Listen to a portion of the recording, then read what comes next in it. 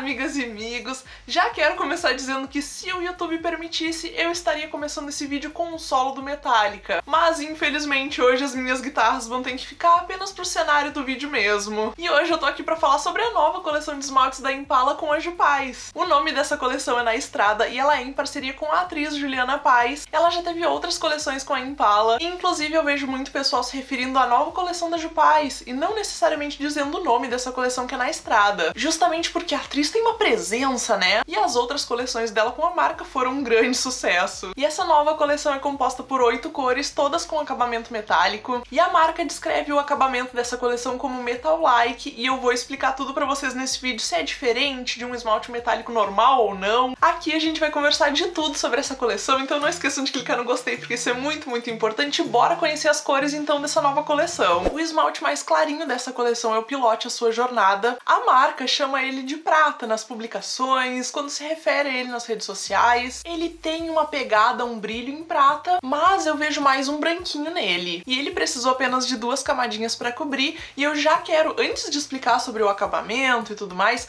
falar sobre a cobertura. Esse é o mais clarinho da coleção, e ele já tem uma cobertura muito boa, cobriu com duas camadas. Todos os esmaltes dessa coleção têm uma cobertura excelente, eu não tenho nada, nada, nada do que falar de reclamação sobre a cobertura desses esmaltes. Então todos, sem exceção que eu vou mostrar aqui dessa coleção, cobriram com duas camadas, alguns cobriram até com uma. Então aí vocês já estão sentindo a pegada da coleção, eles têm uma cobertura muito boa, é um metálico assim ó, tipo a banda mesmo, potente. E agora eu já vou direto para um dos meus favoritos dessa coleção, que é o roxo. O nome dele é Sem Limites. E olha aí o que eu tava falando pra vocês. Ele cobre com uma camada, se tu quiser. Eu tenho essa coisa de passar mais camadas pra fixar melhor o esmalte nas unhas, pra durar mais, pra criar uma estrutura melhor ali na unha. Mas se tu quiser aí, ele cobre com uma camada. E como eu mencionei antes, os esmaltes dessa coleção têm o efeito metal-like, que segundo a marca é diferente de um metálico normal. E por que que eles são diferentes? Porque na composição deles tem óxido metálico. E esse óxido metálico aumenta a refletância dos esmaltes,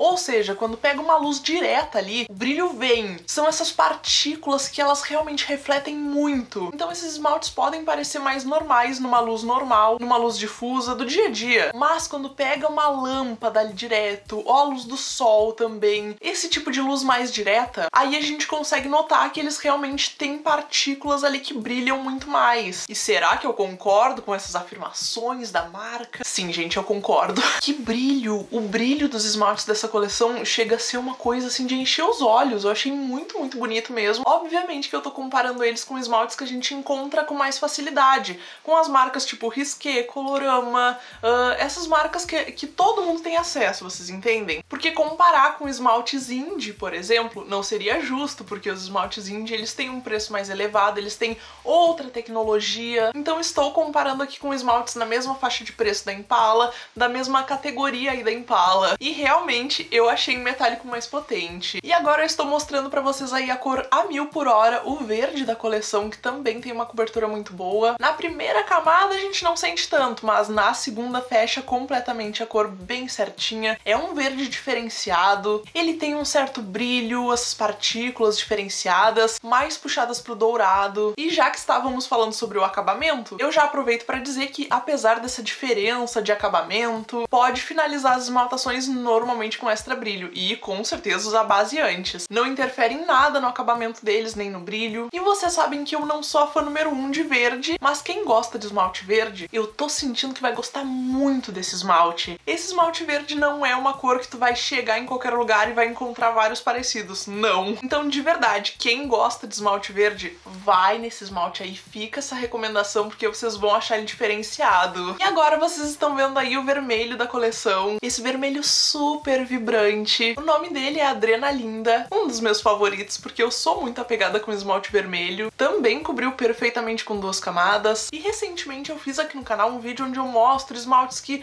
já saíram de linha e que eu tenho saudade. E lá naquele vídeo a gente comentou, né? Eu comentei com vocês, vocês comentaram que a gente tava sentindo uma saudade de coleções diferentes, que não fossem só esmaltes cremosos, que, que desse essa emoção em comprar. E eu senti que essa coleção é assim, por isso que eu fiquei tão feliz com esse lançamento. Obviamente, sem querer desmerecer coleção nenhuma que foi lançada até agora, mas eu tava com muita saudade de ter essa emoção para comprar os esmaltes e passar uma coisa diferente nas unhas.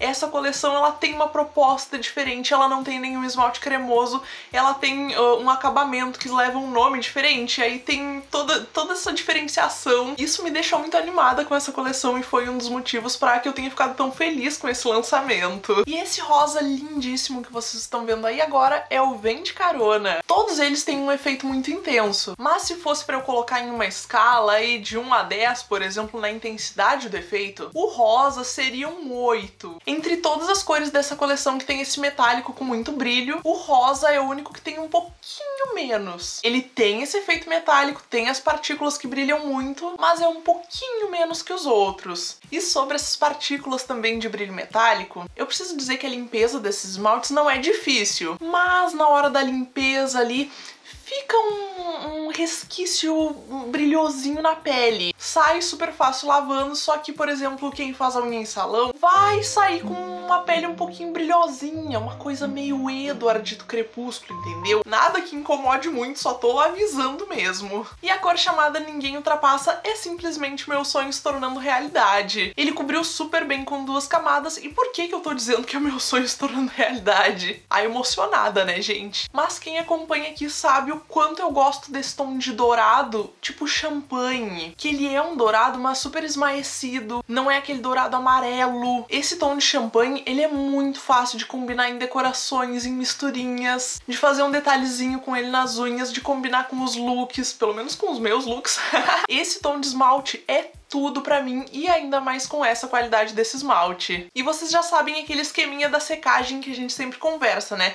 Esses esmaltes, eles não têm uma secagem super rápida, que é aquela secagem que eu fico, nossa, mas como é que já tá seco? Não é assim. É mais pra uma secagem normal. É aquela secagem que a gente já espera de um esmalte. Não é demorada. É só normal. E a cor confiante e imprevisível é o chumbo da coleção. Que esmalte bem lindo, gente. Eu amo esmalte chumbo. Tá aí outro que cobre com uma camada se tu quiser. E como esse é um dos esmaltes mais escurinhos da coleção, vou comentar sobre uma coisa que eu andei vendo nas redes sociais e vou colocar aqui a minha opinião. Eu vi algumas pessoas relatando que esses esmaltes dessa coleção amarelaram amarelaram as unhas delas. Mas aqui falando da minha experiência pessoal, não posso falar por outras pessoas, não amarelou as minhas unhas. Então assim, gente, minha experiência pessoal, não tô anulando nada que alguém tenha dito, mas na minha experiência, nenhum desses esmaltes amarelou as minhas unhas. As minhas unhas são amareladinhas, né? Vocês já sabem disso, mas não intensificou isso. Quando um esmalte mancha as minhas unhas, eu sei, apesar delas já serem mais amareladinhas, eu sei quando um esmalte mancha a minha unha. Isso não aconteceu com nenhuma das cores dessa coleção. E é claro, né, gente, eu sempre uso base, mesmo que seja aqui para fazer os vídeos, eu sempre uso base. Então isso pode ser um fator que está influenciando, não sei, mas fica aqui o meu relato pessoal de que comigo não amarelou, saiu super fácil das unhas, não tive dificuldade nenhuma em remover eles, tudo de boa. E o azul da coleção se chama Potência Máxima, que azul bem lindo. Tá aí um esmalte dessa coleção que se eu pudesse dizer, tipo, ai, ah, qual deles que tem o efeito mais intenso? Esse azul. Passa qualquer luzinha nele e o brilho já vem. E outra coisa muito importante sobre todos os esmaltes dessa coleção em específico, eles são todos hipoalergênicos. Pessoal das alergias aí pode usar, tá tranquilo. Inclusive tem muito muitas coleções da Impala hoje em dia que são hipoalergênicas, então é bom aí quem tem alergia dar uma revisada aí porque tem muitos esmaltes da Impala que vocês podem usar. Nessa coleção então nós temos efeito diferente, nós temos aí a parceria com a Jupais, muitas coisas acontecendo. E o que que eu achei sobre tudo isso? Eu amei! Eu tava assim ó por uma novidade, eu já não aguentava mais de tanto que eu queria uma novidade no meio desses esmaltes, uma coleção diferente, um acabamento diferente, uma coisa que meus olhos brilhassem assim, e chegou essa coleção. E a Impala e a Jupais trouxeram isso com uma qualidade excelente. Essa coleção tá, tá inteira muito, muito, muito boa mesmo. Então essa é a minha opinião sobre a coleção e agora eu preparei aquele momento que vocês gostam muito, que são as comparações. Será que já existe algum esmalte parecido com esses daqui no mercado? Bora lá então comparar essas cores. Eu comecei comparando Ninguém Ultrapassa, que é o dourado da coleção, com Magia Cósmica da Haskell e com o Carregada no Básico da Risqué, que já saiu de linha. Eles têm um tom de dourado um pouco parecido, mais esmaecido, não tão amarelado. O da Impala é levemente mais clarinho do que esses dois. Eles são de certa forma parecidos, mas o brilho deles é diferente. Nos outros dois esmaltes aparecem mais as partículas de brilho. Já os esmaltes da Impala, eles têm esse aspecto mais de metal mesmo. Já aquele prata clarinho, pilote a sua jornada, eu comparei ele com o feitiço da lua da Haskell e eu nem cheguei a aplicar porque já fica bem clara a diferença entre eles. O esmalte da Impala não é um prata tão cinza quanto o esmalte da Haskell e tantos outros pratas que tem, mas também não é tão branquinho como Lua. São esmaltes diferentes, ele fica um meio termo entre esses dois. E o verde chamado a mil por hora, eu não tinha nenhum esmalte parecido com ele, nenhum, nenhum mesmo. Como eu já disse, eu não sou muito dos esmaltes verdes, então pode ser por isso, pode ser que tenham outros esmaltes parecidos, mas na minha coleção não tem. Então eu só coloquei esses dois aí lado a lado, que aí quem tiver eles em casa consegue ter uma noção do tom dele. O esmalte vem de carona, que é o rosa da coleção, eu não tinha nenhum parecido com ele. Na questão da cor eu tenho. Tenho alguns que se parecem, mas como ele é metálico, assim, com acabamento metálico ou perolado, nesse tom de rosa eu não tenho nenhum. O esmalte chumbo da coleção, confiante e imprevisível, me surpreendeu porque eu achei que eu teria algum parecido, mas também não tinha. Eu cheguei até a colocar ele lado a lado com o de salto no asfalto da Risqué, só para que vocês consigam ter uma ideia da cor dele, do tom dele, mas os dois não tem nada a ver um com o outro. São esmaltes chumbo, grafite, só que em tons bem diferentes. E eu comparei o roxo sem limites com o ametista púrpura da Nath e com o psico da Risqué. E na minha opinião, eles não são parecidos por conta do acabamento. E também porque o esmalte da Impala é um roxo mais frio e o psico tem uma cobertura muito ruim. ele não é um esmalte que eu gosto de usar assim sem sem misturinhas. Então eles são bem diferentes, até porque o da Impala tem uma cobertura excelente. E eu comparei o potência máxima, o azul da coleção, com o Plano 11, que também é da Impala, da coleção da série Stranger Things, e comparei ele com o Azul Crination da Risqué, que também é bem famosinho. E vou dizer que na questão de tonalidade, eles até são bem parecidos, mas o que acaba deixando eles bem diferentes é o acabamento. O Azul Crination também tem a questão da cobertura, ele não tem uma boa cobertura, então eu não gosto de usar ele assim como o Psico, sem sem misturinhas. Já o Plano 11, ele tem aquela questão do imã, né, daquelas partículas, e essas partículas elas têm um brilho diferente, então os tons de azul podem se parecer, mas o brilho deles é bem diferente. E por fim, eu fiz uma comparação com o vermelho da coleção, que é o Adrenalinda, e eu tenho certeza que se eu procurasse mais aqui, eu teria vários esmaltes mais ou menos nesse estilo para comparar com ele. Mas eu peguei dois famosinhos aí, que muito provavelmente vocês já viram eles pessoalmente, ou até tem em casa, então vai ficar fácil de vocês entenderem aí a comparação da cor. Um deles é o Maçã do Amor da Risqué e o outro é o Amante da Impala. O esmalte Amante da Impala e o Adrenalinda são bem parecidos mesmo. Muda um pouco na questão do brilho. Como eu disse, né, esses esmaltes dessa coleção da de